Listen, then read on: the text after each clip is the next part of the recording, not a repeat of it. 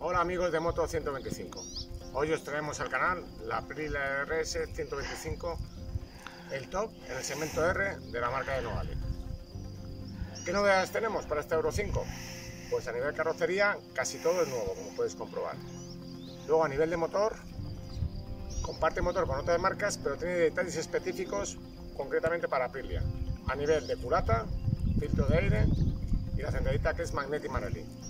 Con ello han conseguido un rendimiento top, como podéis comprobar cuando nos identificamos las prestaciones medidas con telemetría real. Estéticamente se ha revisado el diseño del carnado frontal con una nueva óptica de faro más estrecha en altura y que integra en sus extremos los intermitentes. Lleva el ADN Racing de Aprilia por los tres focos. El central corresponde a las luces largas y se completa con las cortas a ambos lados.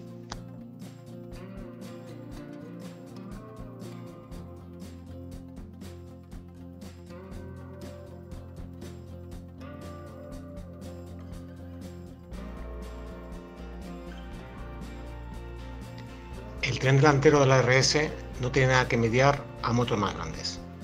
Dispone de barras de 40 mm de sección, disco de 300 mm con pinza de 4 pistones y ABS de Bosch.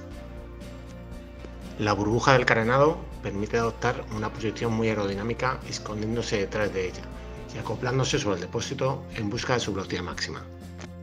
Destaca el bastidor de la RS 125, ya que se basa en dos valvas de fundición de aluminio que se unen en su parte delantera abrazando la pipa de la dirección. El basculante es asimétrico completamente. Cuenta por su lado izquierdo con un tirante superior de refuerzo y por su lado derecho tiene forma de banana.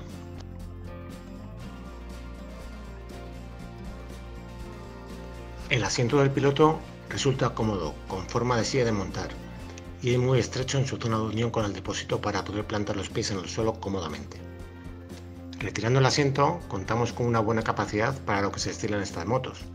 La bandeja puede acoger una tablet de unos 8 pulgadas e incluso se ofrece una toma USB como accesorio.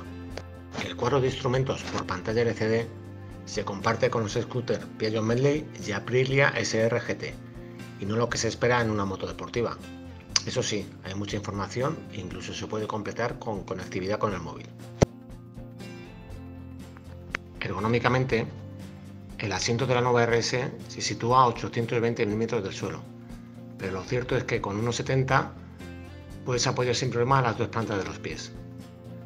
Una vez en marcha, adoptas una postura 100% racing, con las muñecas abajo, el culo arriba y las piernas flexionadas.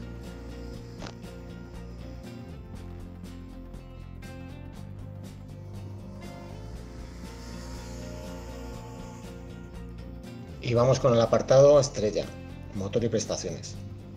Lo que más valoramos de la nueva RS 125 es precisamente lo que no se ve, ya que el motor muestra el mismo aspecto exterior que el de las versiones precedentes. Ahora sí que podemos asegurar que rinde los 15 caballos que se llevan declarando desde hace mucho tiempo. Todo ello hace que consigamos una velocidad máxima de 123 km por hora reales, que son 129 en su marcador, y en condiciones favorables hemos llegado a ver 132. Junto con un peso de 151 kilos hace que pilotar nuestra RS sea un auténtico juego de niños.